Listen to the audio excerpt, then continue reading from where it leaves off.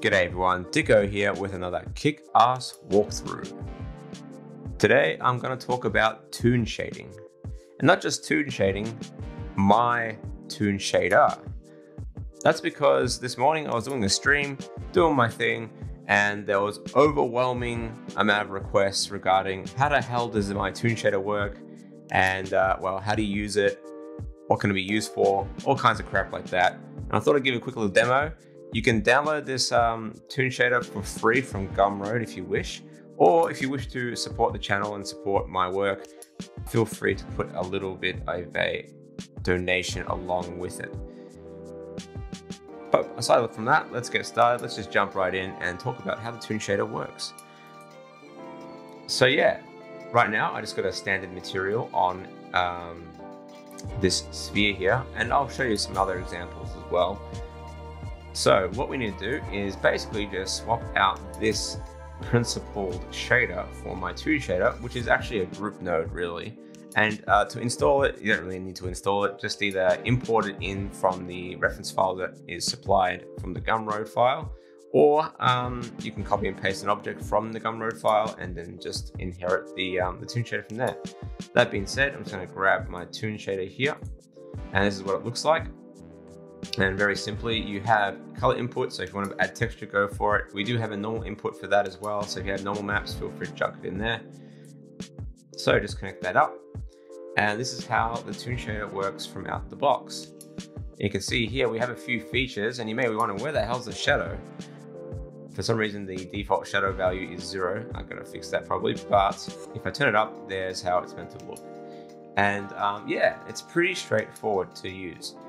The idea here is that um, there are plenty of um, advanced toon shaders out there. This one's meant to be fairly straightforward. There's no fancy hatching or anything like that. This is more designed for um, those who just want straight up cel-like shading. So, and also for those who cannot be bothered uh, texturing anything particularly detailed. That's like me. Anyway, uh, so we have a few straight up um, settings here. We have a basic roughness and um, specular scale. You see it doesn't really do much here, but it will make sense in the future when I show you the metallic. But the ones to really care about are these ones here. The specular, the shadow opacity, uh, rim light opacity, and then this extra stuff down here. So let's start off with the specular opacity. Pretty straightforward. So basically anything with highlights, we can turn it up and down with a value of 1 to 0. We have the same thing for our shadow, so you can turn it off and on if you want to have a fully flat design. And then we have what is called the rim light. So this rim light here, the red outline there, we can change the color as you see fit, or change the opacity as you see fit. From there on in, we have um, the shadow color, the specular color, and then the rim light color. So we can change the color of the shadow to whatever we like, blue, green, anything on the spectrum. You can change the intensity, make it black, make it blue, make it whatever. Um, same with the um, the specular color. You can change the color of that specular. I tend to go for warmer colors and pinks and um, anything down here I tend to go for. And then we have our rim light color, which is basically just a flat color. And that is basically faking a highlight. And I'll talk about how this works as well in a moment but this can be any color you want it to be as well. So I'm going to put it back to red so you can see it clearly. From there on in, we have rim light IOR, which is the rim light uh, index of refraction or reflection. And we can make this rim light more intense or less intense based on this value here. So if I click on this here, it will make it thicker as I make the larger, the, but the, um, the IOR larger, or thinner if I make it a lower value. So great for rim light now, the rim light expansion is really just more about how how intense that rim light is. So you can have it only show up a little bit at the edges, like in terms of like over here, or you can have it sort of expand around, sorry, wrong button, have it span, expand around the, the sphere until it gets to around almost the edges there. It doesn't go all the way, but if you do want it to be all the way around, we can change that expansion a little bit back. I'm going to bring it back down to how it was before. And we can actually invert the rim light. So as we invert it, it will actually take hold across the entirety of that circle. Now, if you want to have a rim light without an extra light in your scene, you can actually invert that rim light so it's actually facing the opposite direction of your light source. So sort of like a, um, yeah, it's like a fake rim light. So you can actually have it be affected from the opposite end of the light spectrum. So basically as a shadow, you're getting a rim light without having to add any extra lights, which is really cool. So I use this, I would use this if you want to have some sort of moody scene. So maybe it's in the pitch black and you have a, you have a light shining on a character's face, and then maybe there's a window behind them, and um, that light from the window is shining behind them onto their back, and you won't have to actually add any more lighting. So that's really cool. But you can always bring it back if you need to to the other side, which is also really useful. All right, cool. Now, moving on to the uh, specular. So the specular is uh, has two settings. We have the sharpness and then we have expansion. So I'll start with the sharpness. So basically, the higher the value, the sharper the highlight, obviously. And expansion is basically how big or how small the, the, um, the highlight will be. So depending on how intense your light is, that's also affecting that expansion. But you can also control it manually in the shader to change the way that your highlights work on that particular model. Same thing is uh, going on with the, uh, the, the sharpness of the shadow. So you can actually make the sharp the shadow more sharper and change the expansion. So basically, if you want to have a super super cartoony, flat shaded um, uh, model, you can have basically a highlight, a shadow, and then your midtones in one, you know, that look completely flat like an actual like cel shaded model. And of course, you, by doing that, you can also change the expansion to give it a bit of spacing between those two those two settings there, like so. So, and this is all reacting to the light as well. So, you know, as you move that light around, it will still work. It will still work. So that's how that works. The other thing as well is that this also works in multiple lights. So don't just think that you only need one light to make this, this shader work. You can actually have multiple lights reacting or being reacted by this shader. All right. So you can have multiple lights. Light color does not matter though. Light color, um, just white light is fine. All right, cool. Um, of course, if you don't want to have such an intense shadow, you can also reduce the opacity. So if you want to have like a, you still want to see the texture underneath, you can have a sort of light shadow, light highlights, that sort of thing. And um, of course, you can blur them out with the expansion as well. So by playing with the, the expansion and the sharpness, you can get a softer, more gradiated sort of feel to it. So almost like a um, airbrushed effect on the um, the character on the um, on the um, the model there. All right, let's do an example with um, something a little bit more complicated, and I want to show you how the metallic works as well. So I'm going to turn off the sphere, turn on this little screw, and you'll see here I'm going to do shader, the same shader here, but I've already done, done the settings here. The big difference is two things. One, I've turned on the metallic. So by ramping up the metallic, you can actually have a sort of metallic-like properties on a toon shaded model, which is really cool. So that's how it looks when it's not toon shaded. So it looks like, you know, still looks all right, but if you want to have that sort of metallic reflection sort of feeling to it, just crank up that value to one, and then you've got yourself a sort of metallic toon shade. Now, there is a caveat with this setting here. You do need to turn on in the settings, in the material settings, screen space, refraction, and just turn that on. Without it, it doesn't work. It just goes black. So make sure turn, you turn that on in the material settings when you're working with metals. Um, and again, the, all the settings still work. You can change it to whatever you like. You'll react in the same way. Um, and you can play with um, these settings here. Now, roughness does affect the way that metallics work. So that's what this is for mostly. It's for that metallic property.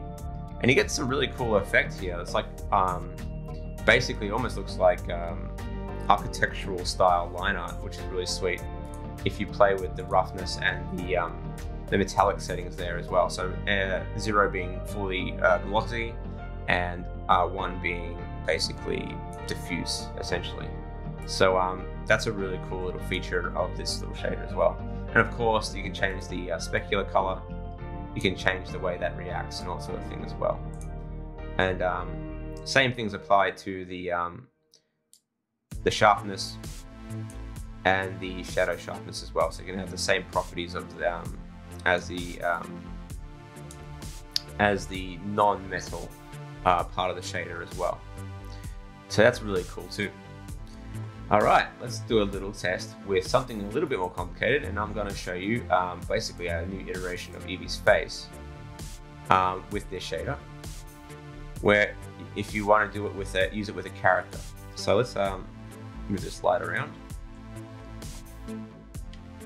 So I'm playing with this character's face, move the light around, and with uh, let's have a look at the shader, how it works with um, with Eevee here. All right. So I just added a little bit of texture. So note, note that you can actually add textures and stuff as well. Feel free to add whatever you like. So for instance, this model, this normal map, you'll probably see it, is, it still does work with normal maps. So if I hook that up, you'll see that her hair will uh, look a little bit different. So you can go a little speck there. So if you wanted to like almost wanted to fake, um, I guess you could say, if you wanted to fake that sort of speckled effect with painting, you can actually add like a noise normal map to it and that would work pretty well. So there you go. Uh, don't worry about the texture there, it's still a bit stretched because of um, because uh, it's a new model basically. Anyway, um, there's a few things that you might want to notice is that the geometry in this uh, face is actually pretty weird. So this is actually um, something to note about toon shading in general, is that toon shading is really hard on organic objects. And um, you'll find that uh, models for um, toon shaders are actually quite different to your standard sort of organic modeling, at least with my style, in that they, um, I don't know, they just, uh, you got to be super clean with the way that you build out your model. Really, really clean. Otherwise, you just get weird distortion in the shadows and in the highlights and stuff like that. And there are ways to negate that by painting your own special normals and doing all kinds of crap like that. This shader does not do that for you. This shader does not do that for you. So um, in some cases, it's actually better to just build out a mesh that is both super clean and um, with really clean geometry. In this case, it's really flat and um, uh, designed that way because that's the way the character's meant to be. But if you want to have it nice and soft and rounded, you'll have to consider that when you're modeling your character. You have to be very precise with how you lay out your um, your mesh. Otherwise, you get uh, even the smallest thing, like just the nose there, even like the way that normal is distorting there, changes the way the shadow works. Anyway, I'm gonna bring down the opacity on, I'm gonna bring that light away a little bit. I'm gonna move that away and show you how this works. So the interesting thing about these um, toon shaders is that it does, it really is affected by contour. So the way that you um, work with toon shaders is that you want to get nice smooth lines and sometimes it's just better to just fake it in your model through contour. And um, you know, obviously there's some angles with this character that would just look horrible. You know, top down, for instance, would like, you know, I'm not going to have this character ever probably like running from top down. It would probably be from at least a three quarter top down or on the side top down, you know, never, um, yeah, so you, you are going to be limited, at least with my model, um, uh, how to do that. But um, yeah, the same uh, properties still apply. You still have your color, still have your opacity, you still have your uh, specular, all that sort of stuff. So if I turn down the, um, let's just give this another color, darker color. And let's bring up some spec. Let's change the specular expansion. Let's see how this is going to work. Hopefully it does work. And you can see it probably will be affected by this screen space reflection as well.